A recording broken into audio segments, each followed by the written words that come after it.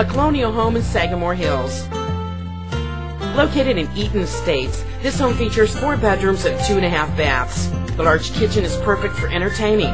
The family room has a gas fireplace for those chilly evenings.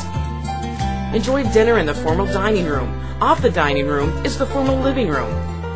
The spacious master suite is complete with a glamour bath. The large rear deck includes a hot tub. For more details or a private showing, contact Candy Forrer.